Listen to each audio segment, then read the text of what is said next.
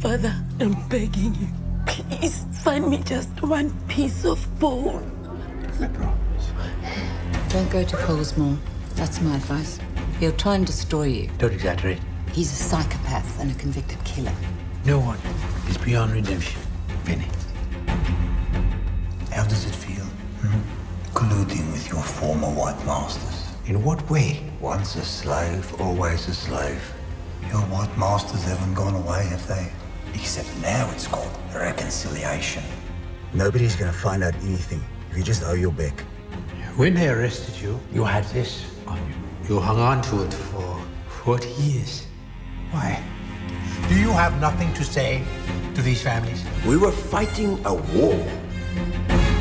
TRC has broken you inside, made a sham of your faith. I'm right, aren't I? You can't forgive the beast that you confront every day, boy. Don't call me boy. Maybe I'm just an old fraud, delusional.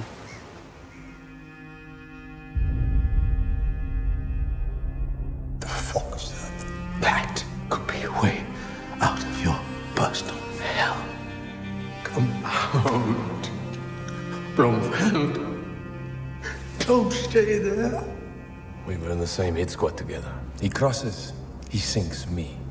Archbishop, come see me. You will wish to God you never listened.